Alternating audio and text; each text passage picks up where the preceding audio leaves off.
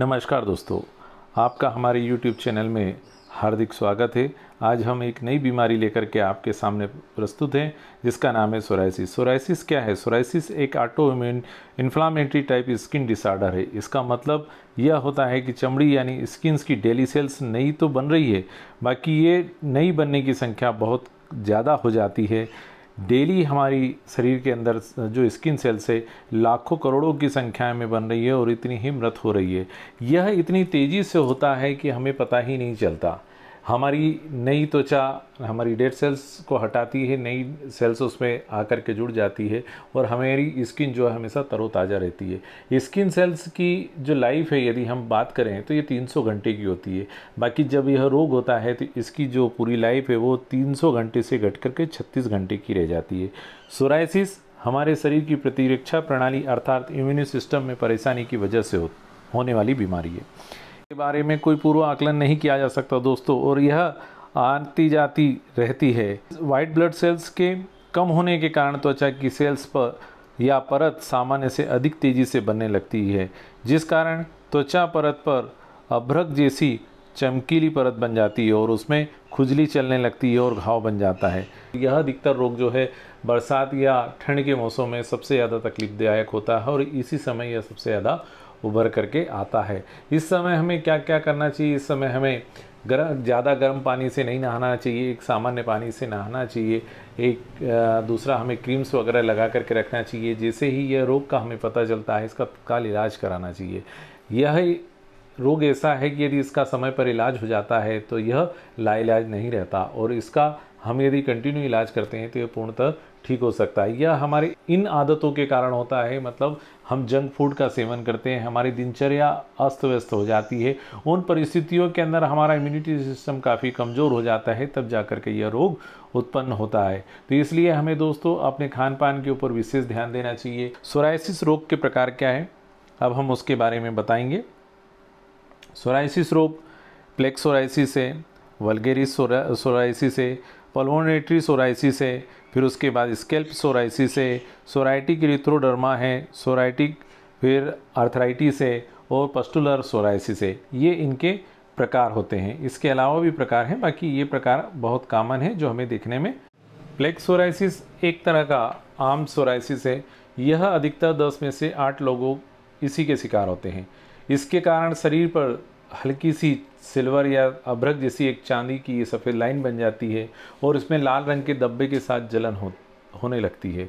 यह शरीर के किसी भी हिस्से पर हो सकती है, लेकिन अधिकतर यह होती है कोहनी में, घुटने पर, सिर में, पीठ में पीठ में नीचे की ओर, इस पर इसकी जो त्वचा होती है, उस पर लाल और छिलकेदार मोटे या चकते निकल आते हैं। मतलब जो हम मछली देखते हैं, मछली के ऊपर जो चकते होते हैं, उस टाइप के चकते निकल आते हैं। ये दो चार मिलीमीटर से लेकर के कुछ ज़्यादा भी हो सकते हैं या उससे कम भी हो सकते हैं। दूसरा, अगला देखते हैं पस्टुलर सोराइसिस यह एक दुर्लभ तरह का रोग होता है।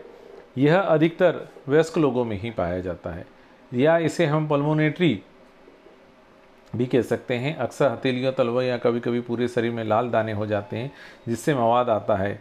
पस्टुलर का मतलब ही है पस फॉर्मेशन हो जाना तो इसके अंदर पस दिखने में आता है। इसके बाद अगला है सोराइटिक आर्थराइटिस ये सोराइसिस और आर्थराइटिस का जोड़ है, दोस्तों। यह सत्तर फ़ीसदी रोगियों में तकरीबन उम्र जो होती है, दस साल से ऊपर होती है, उनके अंदर ये समस्या बन जाती है। इसमें जोड़ों में दर्द, उंगलियों और नाखूनों में सॉरी उंगलियों और टखनों में सूजन आदि जैसी समस्याएँ होती है। अगला है इथ्रो। डर्मिक सोराइसिस इसमें चेहरे सहित शरीर की 80 प्रतिशत अस्सी प्रतिशत से अधिक त्वचा पर जलन के साथ लाल चकते हो जाते हैं। शरीर का तापमान असामान्य हो जाता है। हार्ट बीट बढ़ जाती है और यह पूरे शरीर में या पूरी त्वचा में फैल जाती है। इसमें जलन भी होती है और भी अन्य समस्याएँ इसमें उत्पन्न हो जाती है। अब इसके बाद हम स्केल्प सोराइसिस की बात करते हैं। यह स्केल्प सोराइसिस हेड के अंदर होता है और यह आप अधिकतर देख सकते हैं कि जिनको स्किन की या सिर के अंदर रेंडरफ वगैरह ये जो होता है तो आगे चल कर के यह समस्या उत्पन्न हो जाती है। अब हमने इसका, यह सब इतने इसके प्रकार देखे। अब इसके प्रकार के साथ साथ हम इसको देखते हैं कि इसके किस तरीके से इसका ट्रीटमेंट किया जा सकता है। इसके ट्रीटमेंट के बारे में अब हम आपको बताते हैं कि इसका निदान कैसे कैसे हो सकता है और इलाज किस तरह से करना चाहिए। सबसे पहले हमें हम यहाँ पर इसका इस सोरेसिस बीमारी के अंदर क्या भोजन होना चाहिए पहले उसके बारे में जान लेते हैं। एक्सपर्ट्स का कहना है कि सोराइसिस जो है संतुलित आहार यदि लेते रहते हैं तो इससे इस बीमारी से लड़ने में बहुत ही मदद मिलती है और पेशेंट को या रोगी को बहुत ही अच्छा अनुभव होता है। सोराइसिस के मरी, मरीज़ जिनमें डायबिटीज़ और यदि हार्ट या ब्लड प्रेशर की बीमारी है तो उनका खतरा बढ़ जाता है। इसलिए इन सबको हेल्दी डाइट से बहुत जल्दी कंट्रोल करना चाहिए। सोराइसिस जेनेटिक तो है ही, पर यह किसी को भी परेशान कर सकता है। ऐसे वक्त में हमें इसके डाइट के ऊपर विटामिन सी विटामिन डी हरी सब्ज़ियाँ हैं, चावल है, गेहूँ जैसे अन्न आज, अनाज का सेवन नियमित करना चाहिए। साथ ही हमको यहाँ पर व्यायाम वगैरह करते रहना चाहिए। और भी जो क्रीम वगैरह हम लगाते हैं, वो ऐसे मॉइस्चराइज़र युक्त क्रीम हो जो कि त्वचा को हमारी हमेशा ड्राई न होने दे। हाँ यहाँ हम दोस्तों इलेक्ट्रोहोम्योपैथी से इसके उपचार के बारे में जानते हैं। यहाँ पर हमको क्या किन किन औषधियों का उपयोग करना चाहिए? S one S five L one C five F one were one A three और डब्ल्यू का उपयोग हम यहाँ पर अधिकतर हल्की मात्राओं के मिक्सचर के रूप में ये करते हैं।